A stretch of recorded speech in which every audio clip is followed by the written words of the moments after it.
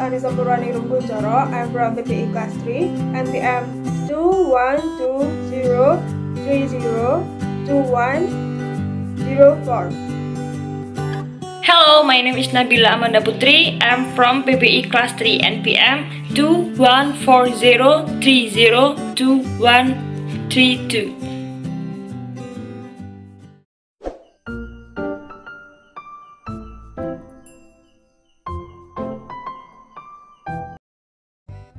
Once upon a time in the Sultanate of Jambi, the Sultan had three servants. Mahmud, the first one was in charge of the armed force. Tahir, the second one, was the Sultan's most trusted messenger. The third servant, Abdul, took care of the Sultan's cat.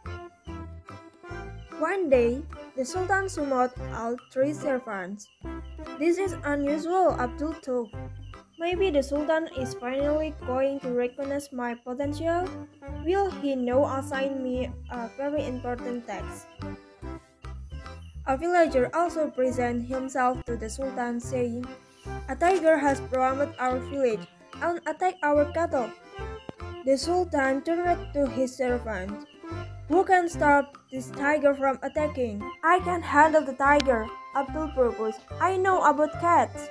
But the Sultan shook his head. Mahmud will handle it better. He is the strongest one. Abdul was upset. Mahmud knew nothing about big cats.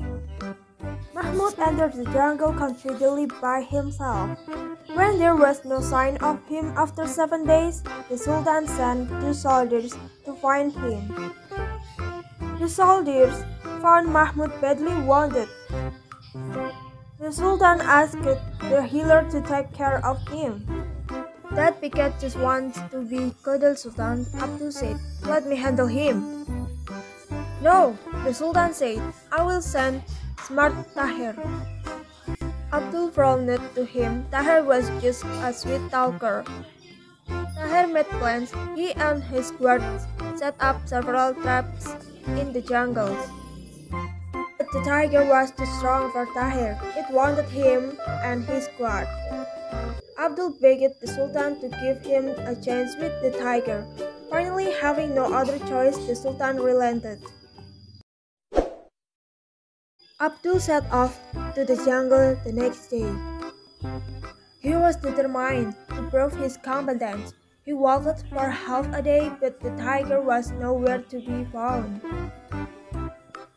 By midday, mm. Abdul felt hungry, so he climbed a tree to get some durians to eat. When he looked down at the ground, there was the big cat Abdul was looking for.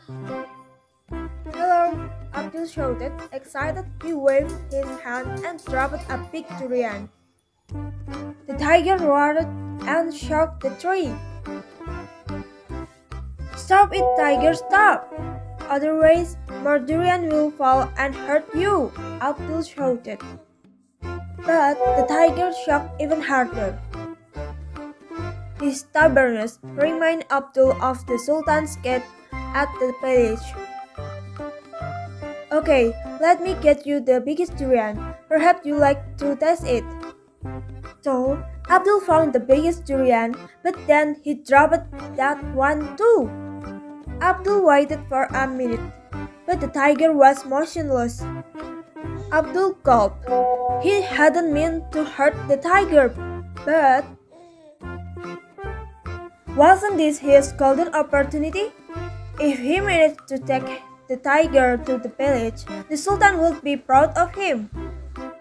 Abdul tried to carry the tiger to the village, but the tiger was too heavy for him to carry.